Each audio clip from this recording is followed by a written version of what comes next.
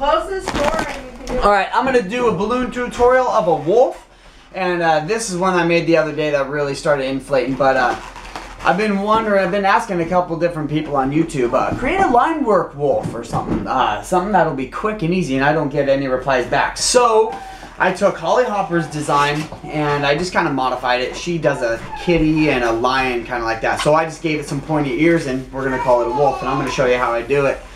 So with this one, this is going to be a nose, and what I did was I left a long bit here on the end so that we can tulip twist that.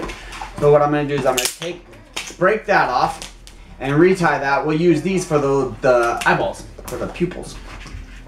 And we'll tie that back off. Hiya. Okay. And give this a tie as well. So it's just, a, and this is kind of what the eyeball will look like. But we take that and we're gonna tie it to the tip of the white nozzle. I'm gonna use a white blown up with about three inches of a tail and we're gonna tulip twist that.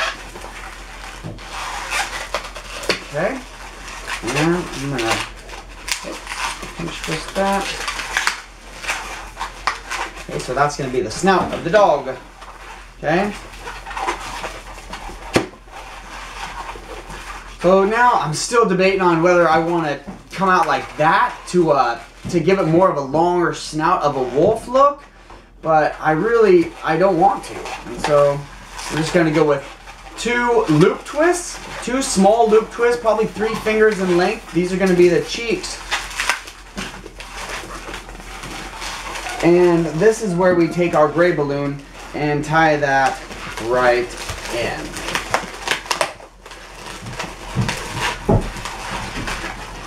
Okay, so now we have this. This is going to be like the mouth of it. And so come back, and I'm going to come back probably two fingers and twist these together. This part, this top part's going to be the top of the head, and this is going to be going down to make the breast. So now I'm going to create, uh, this is going to be about an eight finger bubble right here. We're going to go with an eight finger bubble, and then we're going to go with a four finger bubble.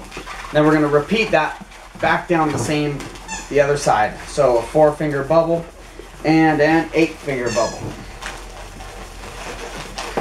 So these two here should be the same size and these two here should be about the same size. Twist this end here into this end here.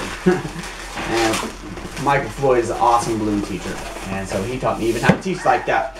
All right, now next we're going to take, so this is going to be the front and what I want is, I'm gonna actually create another small balloon, small bubble, about the same size as the one we made right here, and then come back up to where the two cheeks are, because I want, that's where I want the, uh,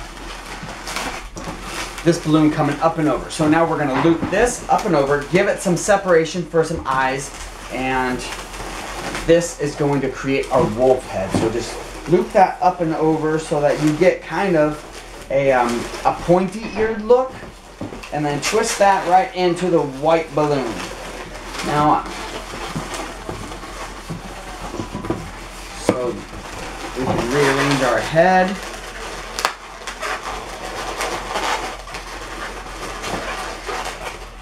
So now, well, see, I don't even like that. Maybe it'll come together. Okay, so it'll look like that. So now I'm gonna come down and just pinch off a about a six inch bubble and then take it right back up to the top with the same thing. And I have one just tiny bubble left, which will be a security pinch twist in the back. But now I've got this here. And so with this white balloon, kind of leave that sticking out, tuck that back in there, and I'm going to create two pinch twists because those will give the the resemblance of like two little paws, two little white paws. This could be kind of like a husky. And we're done with the white balloon, so we can get rid of that. Oh, we're not done with that actually. Baby, you want to grab that for me? And we'll use that for the eyes. No, so you can use this for the eyes. And what I like to do for the eyes, actually, I forgot I have this green one sitting right here. Wasn't even looking over there. But we're to use green for the eyes, so let's just do that. Okay? Let's grab about, uh, I want to say, this has got to be really, really extra, super, mega, hyper soft. Okay, so I'm gonna go four. I'm just gonna go four fingers and then another four. So make that one super soft too, and then twist it together. So you've got the same thing, and we can pop that off. Tie this together. There. Now we have the eyes. The eyeballs can tuck right behind.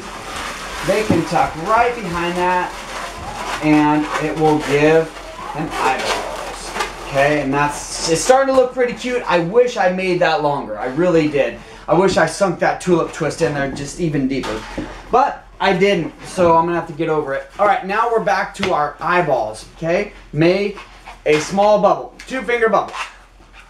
Pinch twist that, and I like to tie it off. So it's a little bean. And I'm gonna double knot it.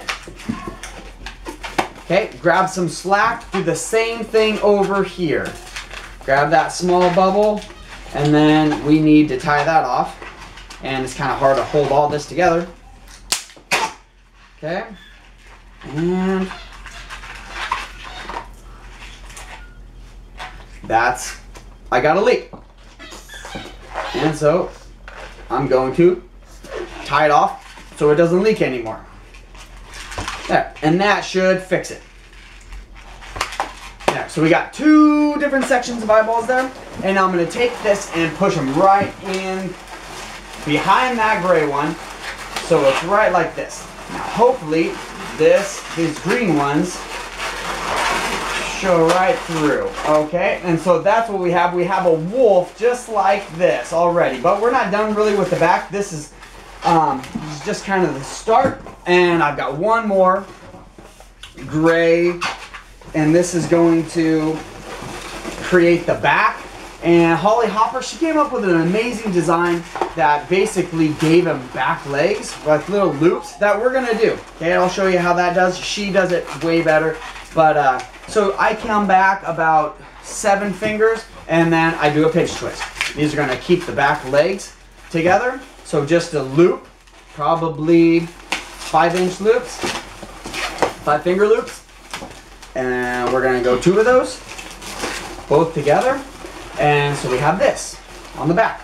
And now we loop the front legs together and that's about a five finger bubble. Loop them around the paws, and then we go back. And then the rest of this actually creates a wolf tail. So it fills up that last bit right there. Sometimes it comes out that way, sometimes it doesn't.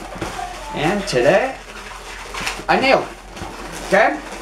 So this is basically our wolf. Position the legs so it looks like he is in a sitting position. And the tail, of course, give the tail a little bit of a curve, give it some character. And so, and with this front, if it bulges out, you kind of press it back so its arms come in front. So it looks like it's sitting up straight. And that looks super cute. But, and then lastly, we'll come out and try to make the ears look really pointed because that's what wolves really, really look like. And that's about it. That's the, it's about a four balloon wolf. And so try to make that snout a little bit longer. It might look a little bit better. So thanks for watching. If you like it, please comment, subscribe, all that good stuff. There's your wolf.